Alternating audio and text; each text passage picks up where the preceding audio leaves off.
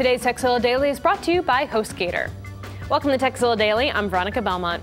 Today's tip comes in response from an email sent in by a viewer named Joel, who writes, I'm a Linux Firefox user frustrated by the minefield, which is the typical web page. I'm referring to the helpful text boxes triggered by my cursor. The trouble is that they block my view of the text I'm trying to read. Is there a way to disable this function, perhaps in the about colon config? Keep up the good work and know there are Linux only people out there too. Joel from Dublin, Texas. Well, Joel, thanks for the Linux love, and yes, the About config page is the place to go for your answer. Just scroll to browser.chrome.toolbar underscore tips and double click it to change the value from true to false. Then restart your browser and those pop up text boxes will never bother you again.